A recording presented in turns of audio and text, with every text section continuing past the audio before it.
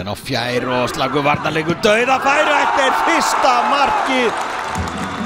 Og hann skorar uh, Makedónin Arjan Ademi. Æjæjæj Steffúli hennin áallanarferðina hér upp vinstra megin.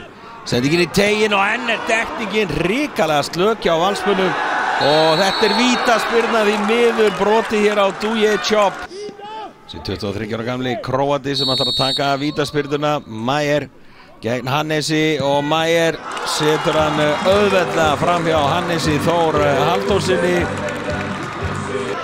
og Guðmundur Andri og Guðmundur Andri er að komast á æri fótinn heldur lífi í þessu. Sverri Pál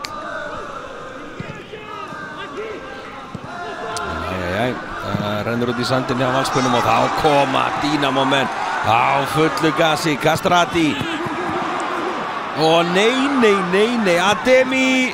Æjæjæjæjæj ah, þetta var ræðilegt mark að fá á sig.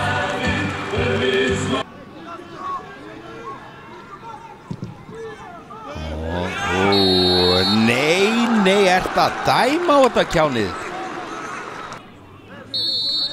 Ademi gegn Hannesi og Ademi. Hannes getur hann bara hafa lægi Hannes?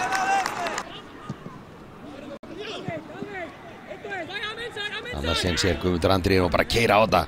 Og Guðmundur Andrið reynir að fá víti og hann sækir víti hérna Guðmundur Andrið Tryggvason.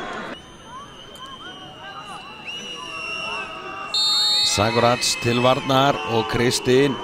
Það býtu við. Og Kristín. Nei, nei, og skallin já, já, já, já, já, já, já, já. Kristín Freyr Sigursson stáleppið þarna frákastið fellur uh, til hans. Og þetta er fýtt skalli á hann miklu betur, þetta er vítaspilna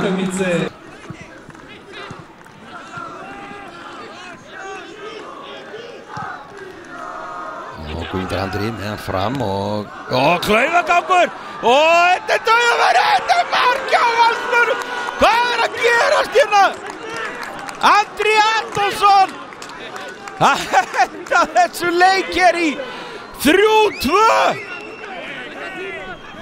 og frakkin Katrín liggur eftir því líkur loka kaplíðinni á valsmunum. Þeir eru að gera þetta heldur betur að leik hérna á Íslandi því líkur klaufaskap. Hann sparka í sjálfan sig